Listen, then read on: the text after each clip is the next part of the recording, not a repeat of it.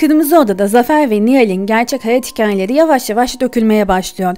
Zafer ve Nihal'in evlenmesi aslında oldukça trajik bir olay. Zafer babası gibi Almanya'ya okumaya gidiyor. Orada Alman bir kızla tanışıyor. Türkiye'ye geri döndüğünde ise onunla evlenmek istiyor. Ama babası buna izin vermiyor ve bu yüzden de Zafer sırf babasına inat Nihal ile evleniyor. Nihal ile daha ilk evlendiği günden pişman olan Zafer evden ve Nihal'den oldukça uzak bir yaşam geçiriyor. Nihal de sırf kocasının dikkatini çekebilmek için bayılmaya başlıyor.